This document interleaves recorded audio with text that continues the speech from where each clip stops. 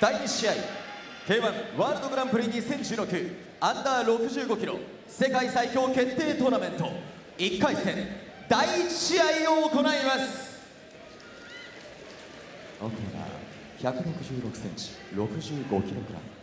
モルドバライオンクラブ。スタニスラブ・レニータ見えない右に気をつけろ。東欧の粉砕機スタニスラブ・レニタ赤コーナー177センチ65キログラム。日本 K1 ジムチームドラゴン。山崎秀明!地獄の口から帰ってきた。自分を諦めなかった男山崎秀明。その戦いを愛する妻ルディアさんが見上げていますこの試合は K1 ワールドグランプリ2016アンダー65キロ世界最強決定トーナメント。1回戦がいよいよ始まろうとしています。日本代表の山崎秀明対するがモルドバからスタニスラブ・レニタ。この戦い3分3ラウンド制です。1ラウンド中1回戦と準決勝までは2度ダウンをすると KO 負けとなります。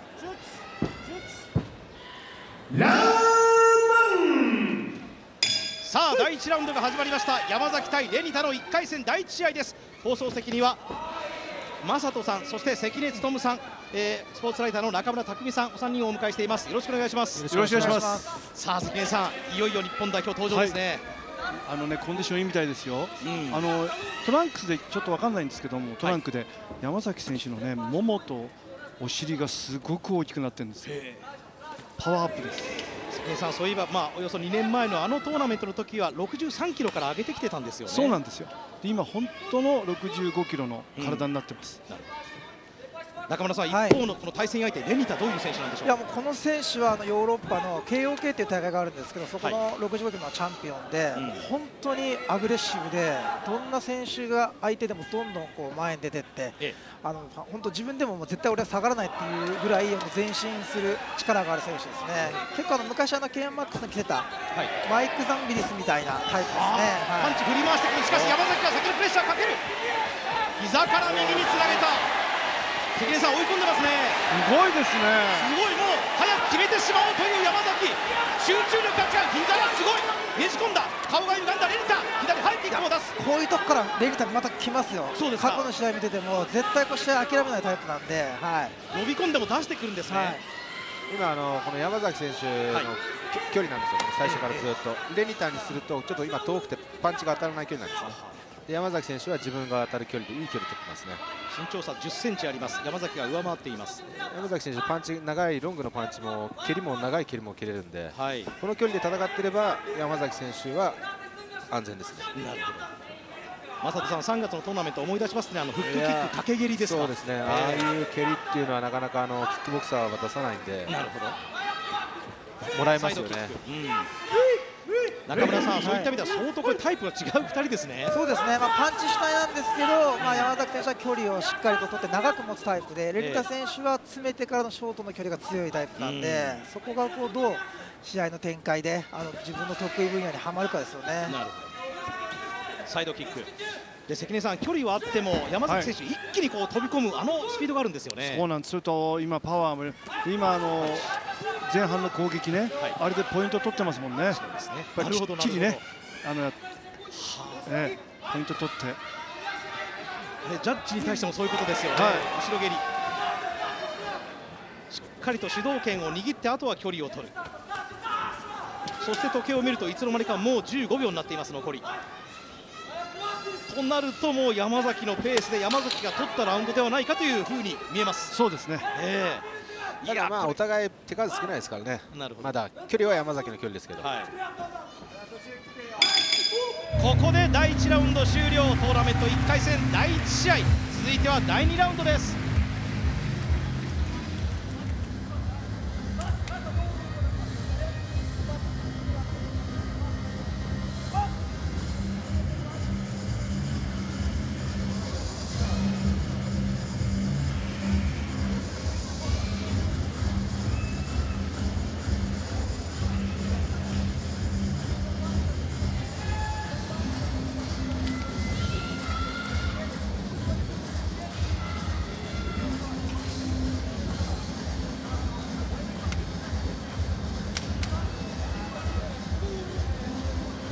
K1 ワールドグランプリ201665キロの世界最強の男が決まる戦い。1回戦の第1試合ご覧いただいています。山崎秀明対スタニスラブ・レニタ。さあ解説の正人さん、はい。1ラウンドそして2ラウンドに向けてどうでしょう？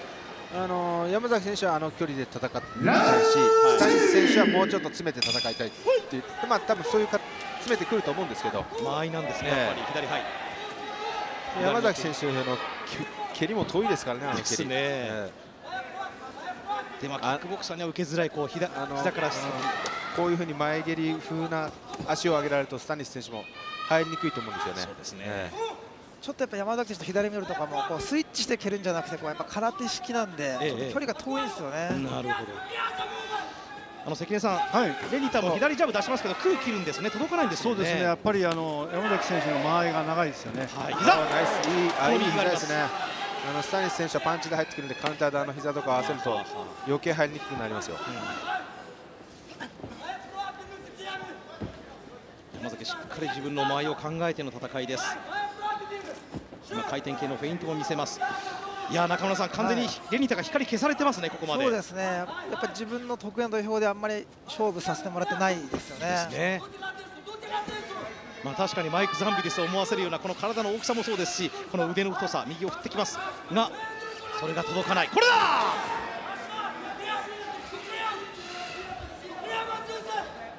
まあスタニス選手からするとはい。入れないなと思ってると思いますよ。そうでしょうねえルーマニアとウクライナに挟まれたモルドバ共和国出身。今のいいジャブだし、いい前蹴りにあのジャブ出されると本当嫌ですよ。はは今の蹴りはお腹にもきます。いい色のジャブこ左の。左のフェイントフェイントを出しうな出た掛け蹴り。おナイスパンチ。ボディ。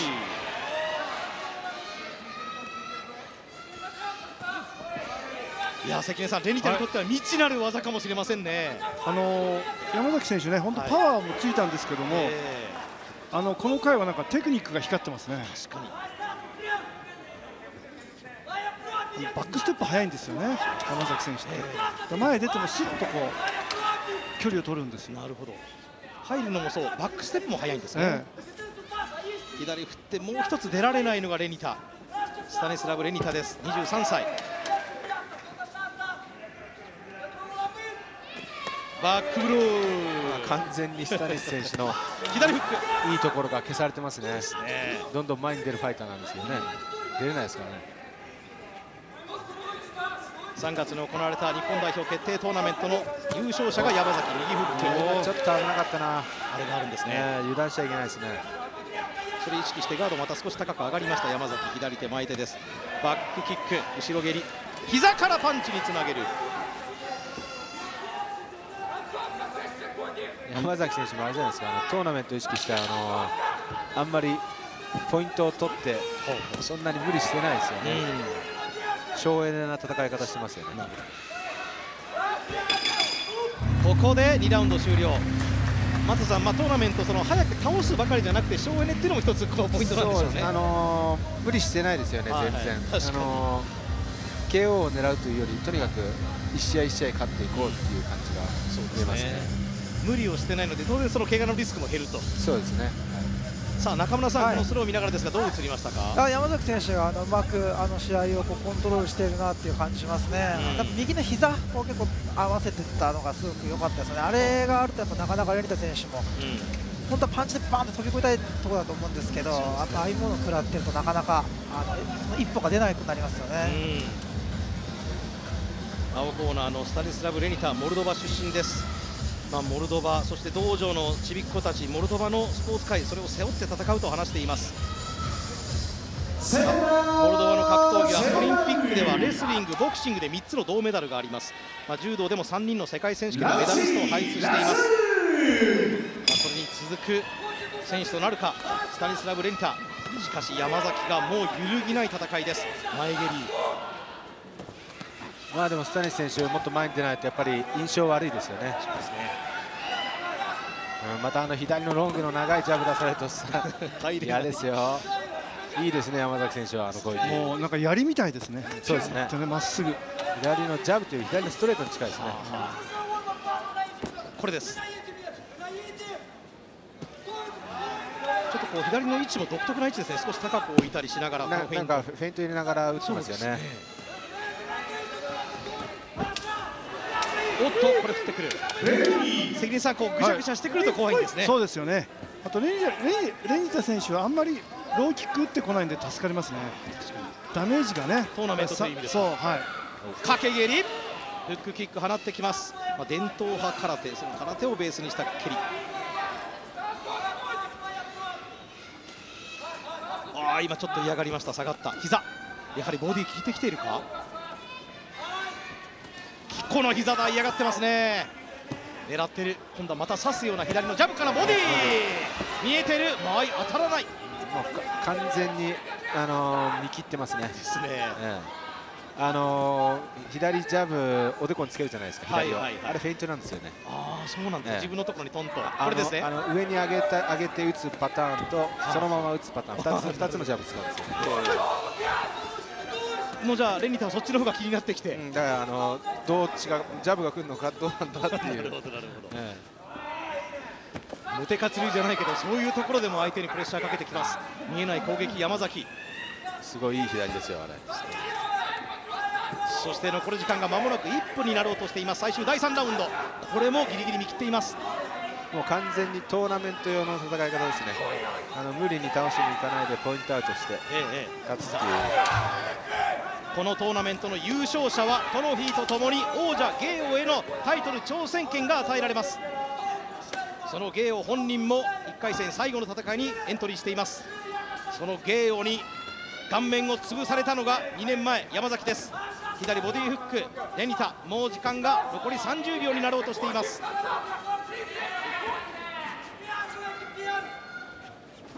モルドバのレニタ。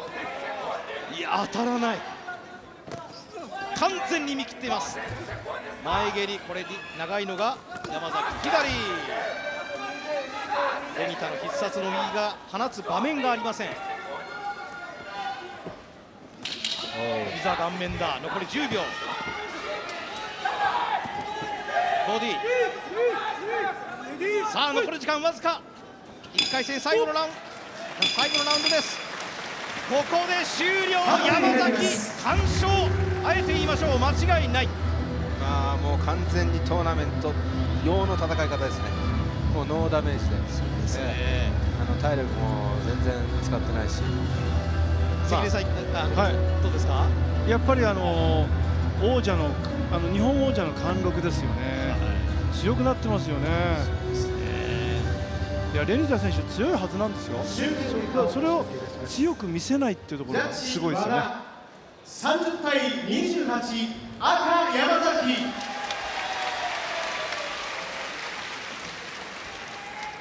ジャッジ豊永30対27赤山崎。ジャッジも30対27赤山崎。秀晃ノーダメージパーフェクトな戦いで準決勝進出を決めています。